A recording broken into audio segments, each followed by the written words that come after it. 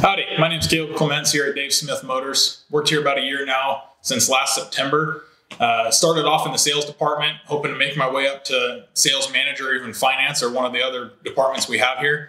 Uh, from a financial standpoint, I never have to worry about feeding my family again. I can do that without doing cold calls or anything like that. People just call in, the phone keeps ringing, I keep doing my job. And uh, luckily, I work with great people. My team, Tyson Stevens' team, we, we do a great job. We work hard as a team and we just get the job done. Uh, there's lots of different teams to work for here. Luckily, I found Rick. I started working for DirecTV.